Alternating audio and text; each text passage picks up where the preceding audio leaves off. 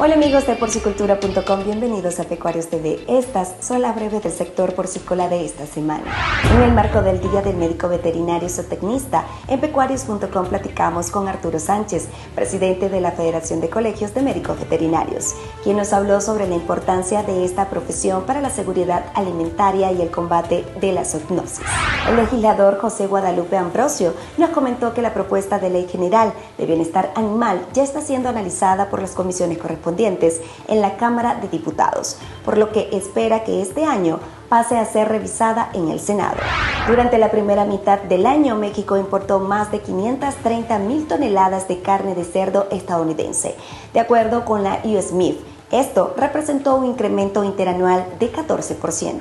En la Asociación de Porcicultores de Querétaro hicieron un llamado a la población para consumir carne de cerdo mexicana, asegurando que cumple con los más altos estándares de calidad e inocuidad.